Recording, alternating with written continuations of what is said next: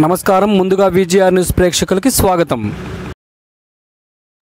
మీరు చూస్తున్న దృశ్యాలు ఇటీవల కురిసిన నివార్ తుఫాన్ కారణంగా డక్కిలి మండలం లింగసముద్రం జాతీయ రహదారి వద్ద కూలిన బ్రిడ్జి నాడు నేడు దృశ్యాలు.